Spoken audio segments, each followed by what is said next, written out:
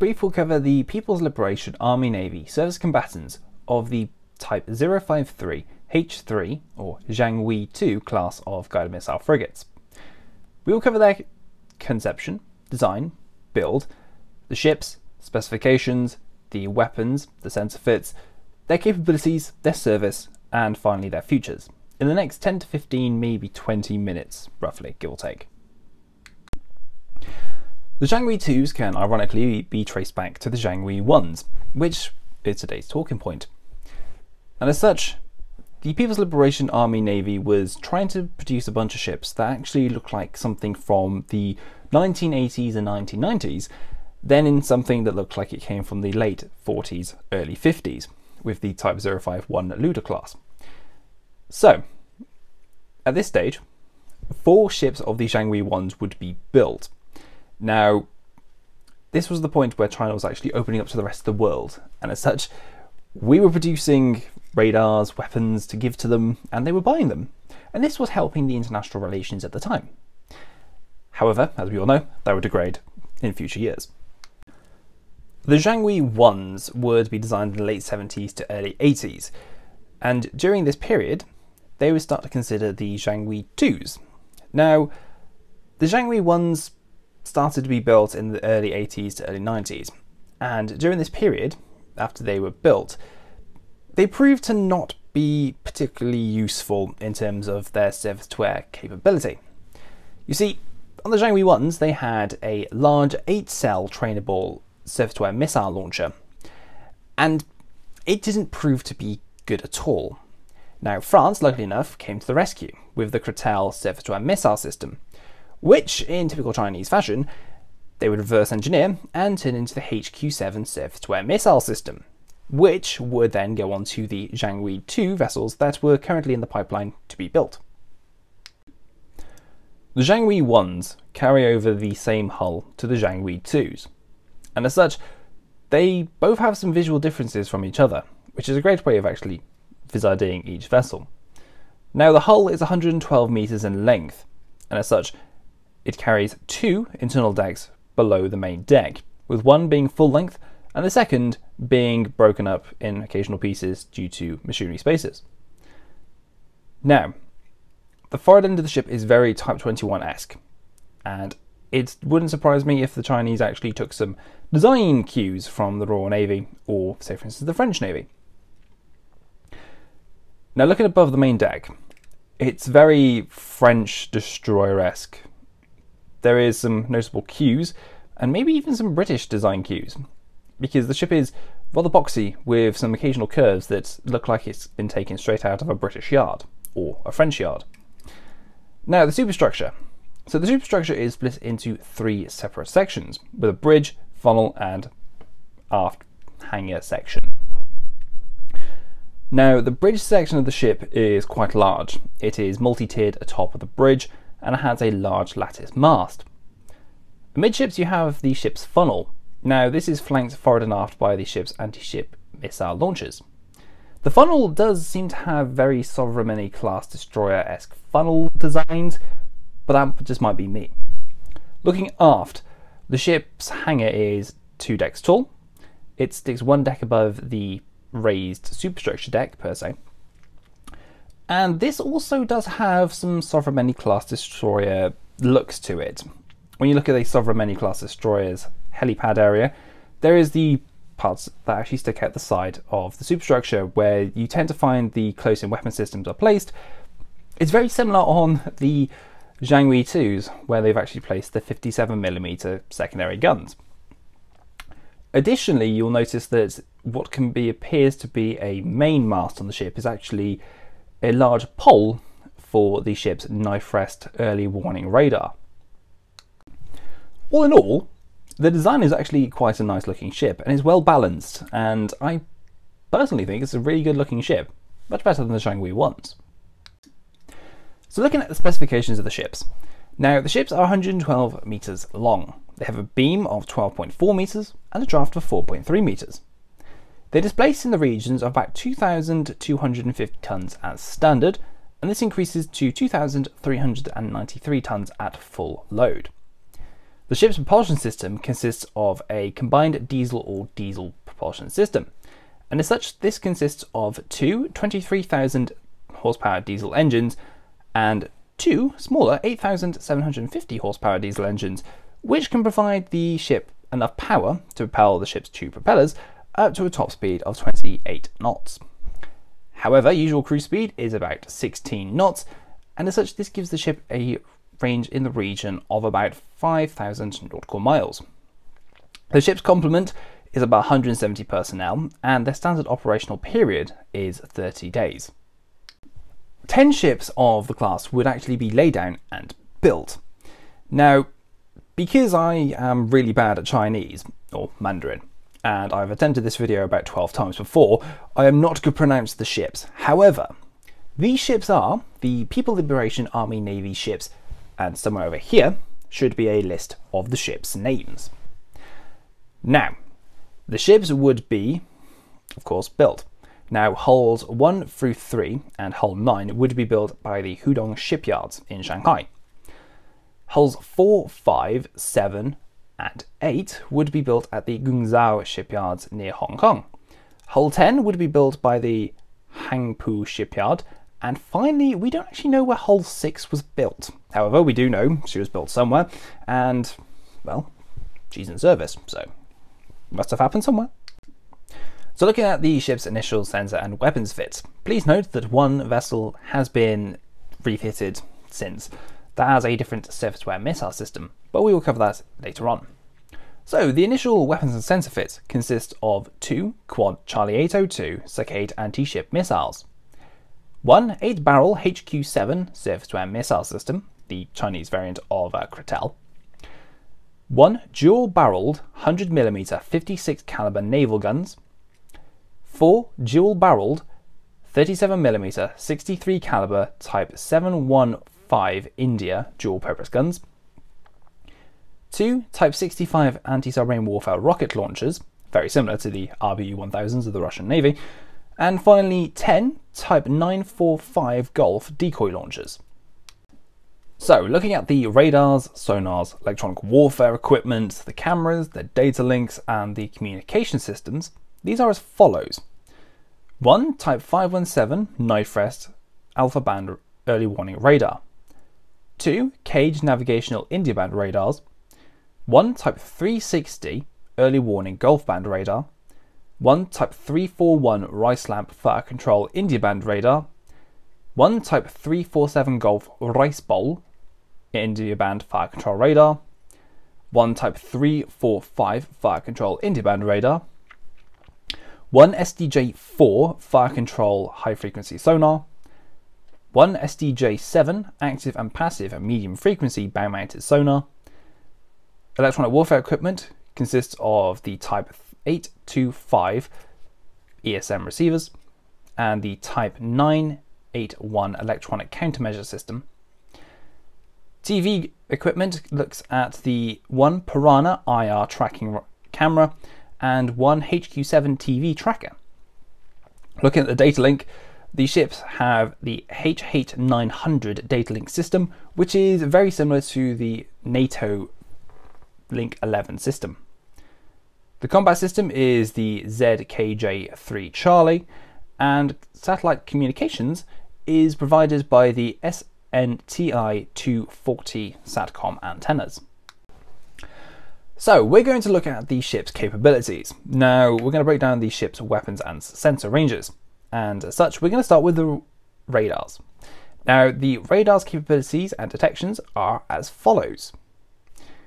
Knife Rest has the capability to detect contact out to 110 nautical miles, but has a low range resolution and is limited to measuring just range not height. Now, it has the capability to scan full 330 degrees. However, the rotation speed is about a rotation every 6 seconds, which is 10 rotations per minute. Now, the radar is limited with its detection forward because the bridge is in the way. Now, it's highly likely that this radar has sector blanking for the forward end of the ship and utilizes a secondary radar for coverage of the forward end of the vessel. The Type 360 radar is a large Cassegrain style radar situated atop of the ship's foremast. Now it has a stated range of about 90 nautical miles, but as it's a higher frequency radar, it actually has a better range resolution than Knife Rest, and as such, it is able to actually detect an airborne contact and state its height, which is good for an early warning radar. So, moving on. So the radar is fitted atop of the ship's foremast, and as such it gives a 350 degree of coverage around the ship. The only little bit that it doesn't actually cover is the pole mast just aft of the radar, for which some other SATCOM equipment and other funky little bits are mounted atop. Rice Lamp is the fire control radar associating to the ship's 37mm secondary weapons. Now, this radar is located on the sense centerline of the ship, just in between the aft two 37mm guns. Now, this radar works in the India band, and as such is a higher frequency than most radars, so it has higher data returns, excellent for fire control and tracking of airborne or surface targets.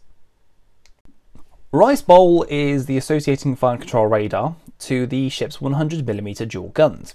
Now this is located just forward of the main mast, facing forward, and it works into with the 100mm gun.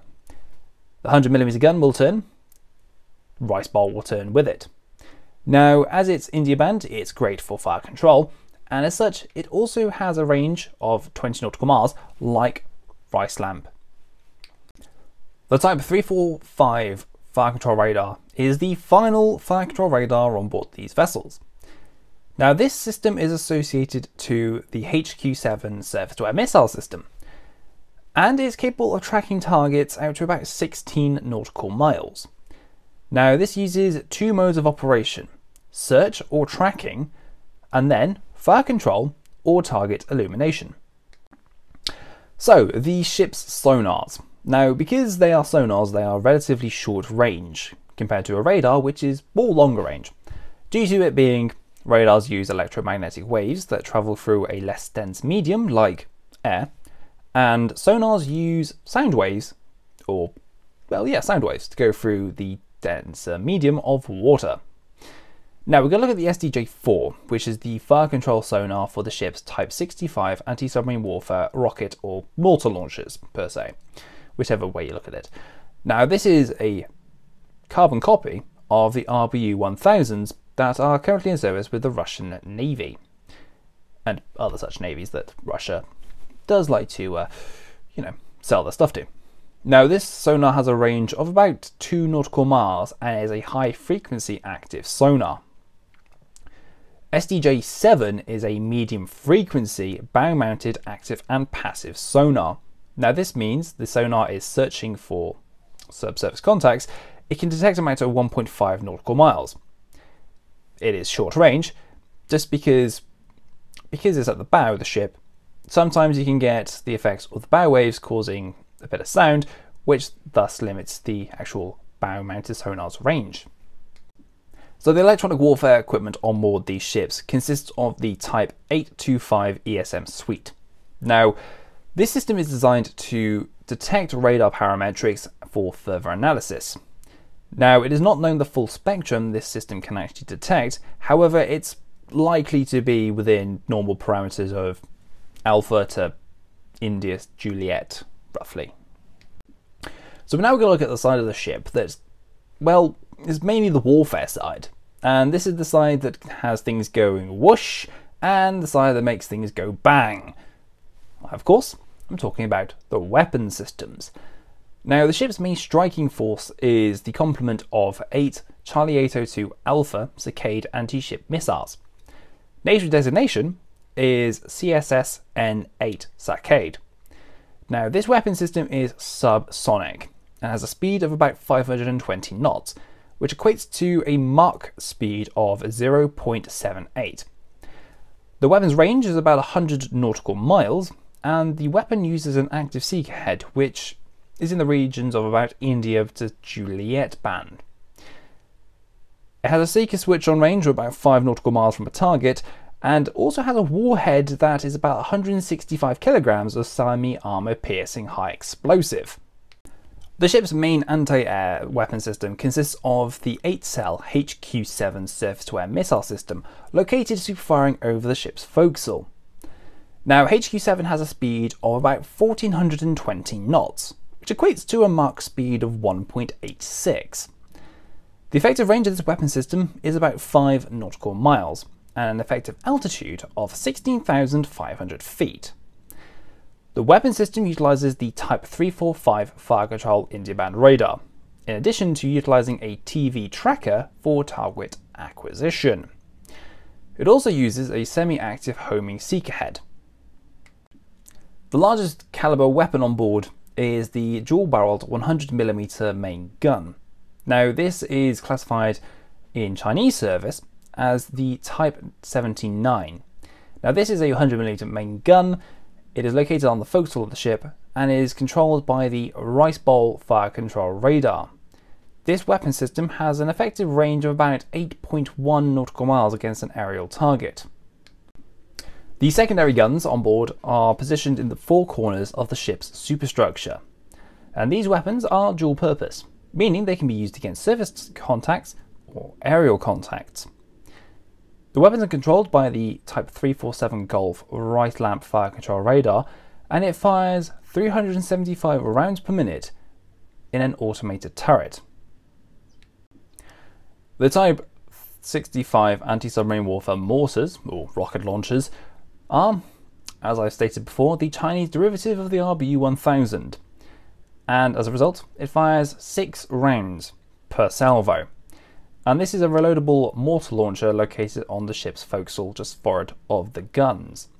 Now this comes with a 100 kilogram warhead and can be fired out to one nautical mile away from the ship. I mean, if you're a submarine and you're one nautical mile away from a ship, you have seriously, seriously gone wrong somewhere.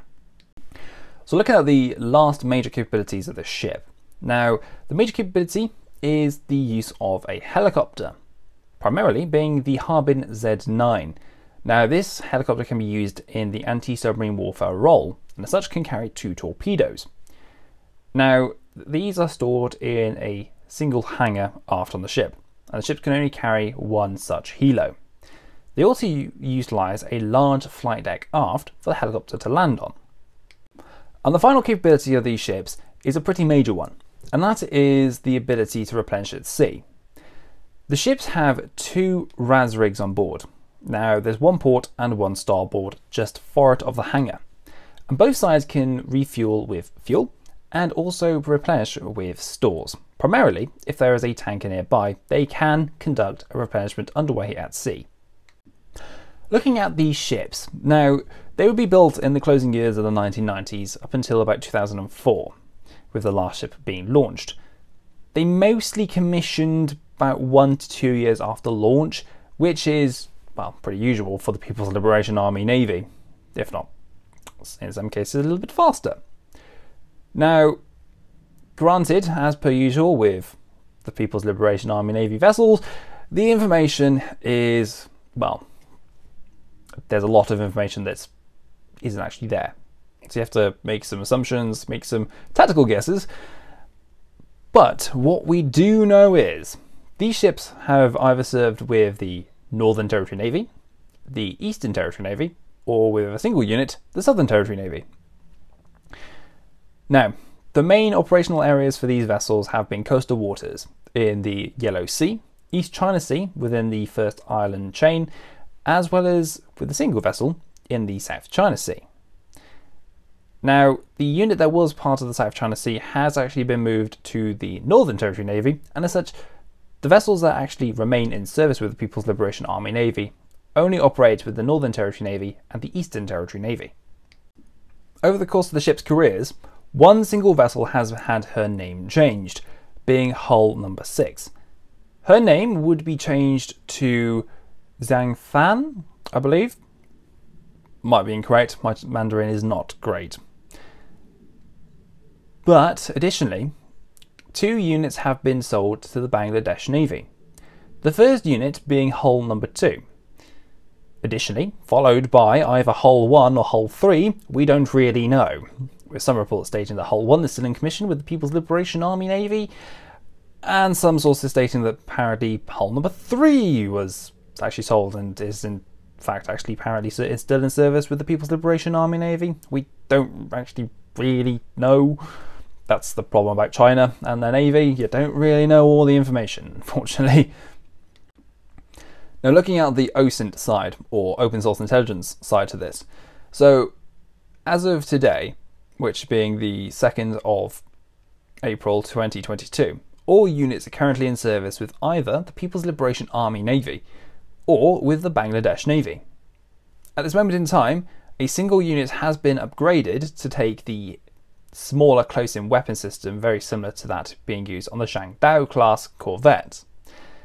However, further upgrades have been in the circulation. However, we don't actually know for a fact if this is going to happen or not, All the ships will be scrapped because of newer frigates coming online. We don't know, but watch this space.